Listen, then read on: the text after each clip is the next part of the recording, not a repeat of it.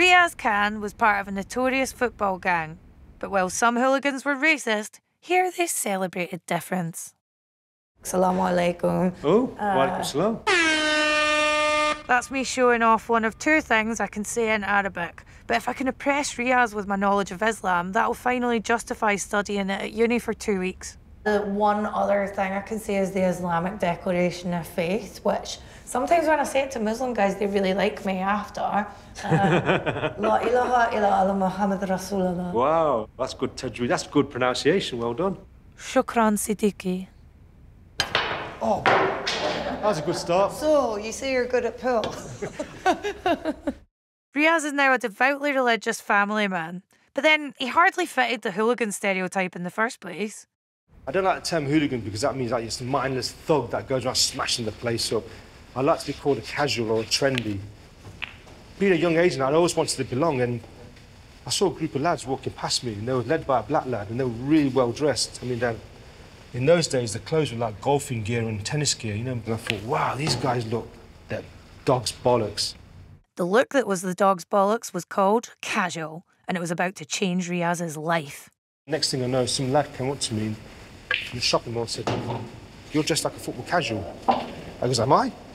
And you were like, No, this is just a look. It's just I'm a fashion, yeah. He goes, No, no, that's a casual look. You can't uh, dress like that unless you go to the football.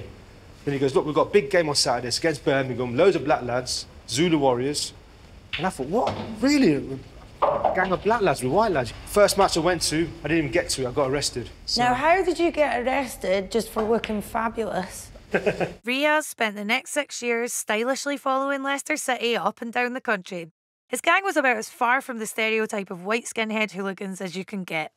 This assimilated you more into British culture than anything else. You belong to something, don't you? It's yeah. a belonging. People look at you not for your colour, you think, oh, he's one of the lads better than any think tank, better than any politician, any religious leader, any pop star, because we was one of the lads. We broke down loads of racial barriers in Leicester. We're not a melting pot, we're like mm. a salad bowl with the tomatoes, lettuces, the cucumbers and the onions, all having different flavours, but all live together. Mm -hmm. Whereas a melting pot, everybody's the same. At times it was against the law, but against the odds, Riaz had found his spot in the salad bowl of Leicester. Our life was this football, dressing up for that day, looking the part that day. If you overdid it, you look like a div. Did you not just feel bad when you got blood all over your nice yeah. clothes? I got smashed on the head by a skinhead. You see the scar there? I do. And I had an Armani jumper on, like a brown badge yeah, one. I, I had blood all over and I was wounded because I just got it. I was like, oh, that's put in the washing machine. It shrank. You know what I mean? That's a nice thought you were like ultra violent and yet still couldn't whack the washing machine at a basic level. I saw red. Mm-hmm. Don't forget, I was like 18, 19. I was an idiot, you know what I mean? And uh, all I can remember him screaming when I was doing it. And I didn't care. I just didn't care. I don't know what was wrong with me then. Riaz was sent to prison for eight months. But the real wake up call was a knock at the door. You know, you get Jehovah's Witness knocking on your door. Yeah.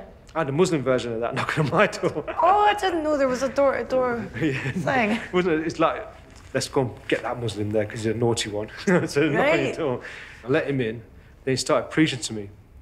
But the way he preached to me wasn't like, you're going to go to hell, you're going to yeah. burn with the rest of the people. And, you know, no, you get it. And he just sort of said nice things. And I thought, okay, yeah, okay, you're making sense there. Right, all right, I'll, I'll give it a go. I'll, and I read the Quran and read it in two days. And that's when I changed, boom, like that. It was just like a newborn baby. It just changed my life.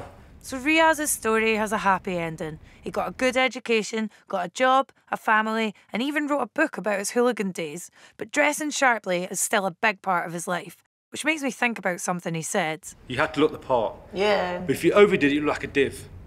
Now there's one div that I know who could use a few style tips, so I want to introduce him to Riaz. Let's go there and I'll kit you up. Uh, yeah, why not? yeah, let's go. I hope Riaz likes a challenge.